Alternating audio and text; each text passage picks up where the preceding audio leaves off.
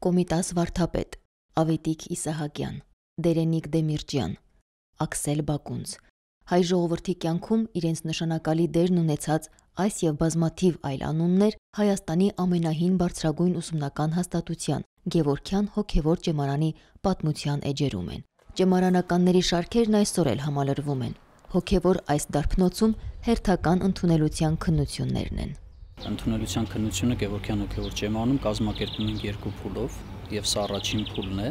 որբիսի առիթ տանք մեր դիմորդներին իրենց ովքեր որ ունեն բանակի բանակ գնալու զորակոչվելու խնդիր կարողանան ժամանակին հանձնել իրենց ընդունելության քննությունները, իսկ երկրորդ փուլը Գևորգյան հոգևոր ճեմանում ընդունելության տեղի կունենա օգոստոս ամսվա վերջին, որպիսի առիթ տանք նաև զորացրվող տղաներին, ովքեր որ բանակից պիտի վերադառնան տուն, առիթ տանք իրենց, որպիսի կարողանան իրենց դիմումը ներկայացնել Գևորգյան ճեմարան եւ դառնալ Գևորգյան հոգևոր ճեմարանի սան։ 15 դիմորդ սրտատրոպ սպասում է քննասենյակ մտնելու իր հերթին։ Պատրաստվել են, արել ամեն բան 1.5 դարյա հաստատության պատվավոր սաները լինելու համար։ Այսօր եւ հետագա երկու օրերին Տիրոջ ողորմության པարզ կլինի, թե մեզնից ովքեր են ողջ դնելու ջեմային դռնից ներս եւ հետագայում դառնալու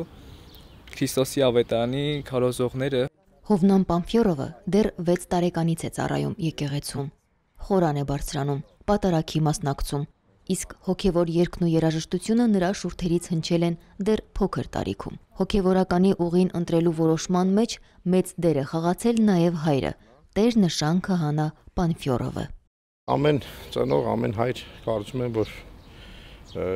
Թակունի սրտի անկյունում երազում է, որ իր զավակը շարունակի այն ճանապարհը, որ ինքն է ընտրել կյանքում։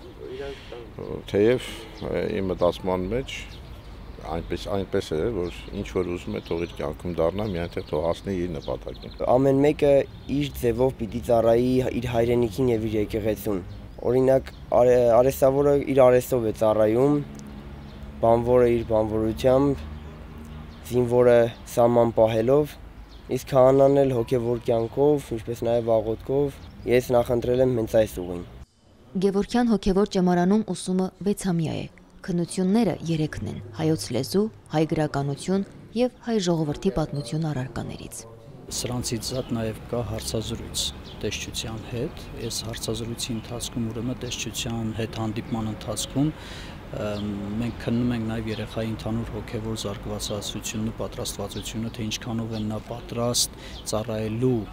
նախ դառնալու ուսանող սանը Գևորգյան Ջեմալանի նրա գիտելիքները կրոնի, մշակույթի, երկեցողության, եկեղեցական երաժշտության, օտար լեզուների իմացությունը պիտի քննենք, ընդհանուր պիտի ճանաչենք մեր սաներին, որպեսզի հետագայում ավելի հեշտ լինի աշխատելու յուրաքանչյուրի հետ անհատապես ուժ, նվիրում, պատասխանատվություն, հայրենիքի, եկեղեցու, մշակույթի ու լեզվի հանդեպ։ Տղաներն այս գիտակցումով են այսօր այստեղ։ Վստահեցնում են, պատրաստ են հաղթահարելու ցանկացած դժվարություն։ Լիլիթ Մարտիրոսյան, Տիգրան Մինասյան, Եկեղեցական կյանք։